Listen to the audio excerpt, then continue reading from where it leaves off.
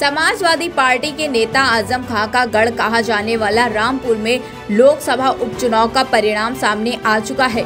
यहाँ बीजेपी ने जीत का परचम लहरा दिया है। रामपुर में सपा की ओर से आसिम राजा और बीजेपी की ओर से घनश्याम लोधी चुनावी मैदान में उतरे थे। यहाँ से बहुजन समाज पार्टी का कोई भी उम्मीदवार नहीं उतरा। तो वहीं 2019 के लोकसभा चुनाव में इस सीट पर समाजवादी पार्टी का कब्जा था। हालाँकि 2022 के विधानसभा चुनाव में अखिलेश यादव और आज़म खां के विधायक बनने के बाद उन्होंने लोकसभा की सदस्यता से इस्तीफा दे दिया था। बीजेपी उम्मीदवार घनश्याम लोधी ने यहाँ बयालीस हज़ार से भी अधिक मतों के अंतर से जीत हासिल की। आपको बता दें कि रामपुर में शुरुआती रुझानों में भले ही सपा प्रत्याशी ने अपनी बढ़त बनाई हो, लेकिन उसके बाद मतगणना के आगे बढ़ने के साथ ही परिणाम बदलते हुए भी नज़र आए। मतगणना खत्म होने के साथ आखिरकार बीजेपी ने आज़म खां के गढ़ में भी जीत का परचम लहरा दिया।